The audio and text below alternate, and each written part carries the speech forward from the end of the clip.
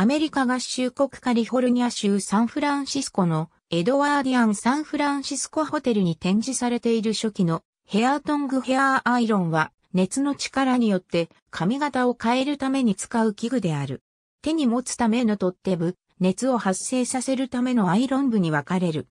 日本においては1904年頃、当時流行していた203コーチという女性の髪型を作る道具として、火箸を炭火でよく温めたものを、現在のヘアアイロンのように用いていた。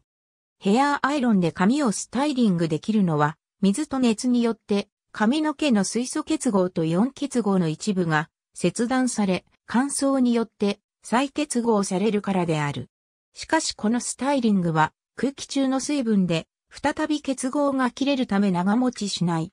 電熱式の近代的なフラットアイロンはアイロンで発生させた熱を紙に伝える時間がそのアイロン部分のセラミック材質とコーティング材の質で異なる。